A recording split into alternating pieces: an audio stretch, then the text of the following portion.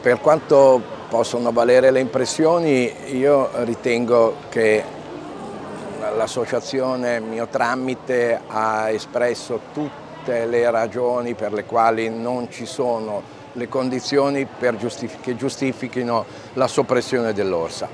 C'è una proposta da parte dell'associazione LAV per il suo trasferimento all'estero in un luogo nel quale ragionevolmente può continuare a vivere. Domani mattina eh, ritengo che saranno pubblicate le ordinanze del Consiglio di Stato dalle quali sapremo tutti l'esito degli appelli.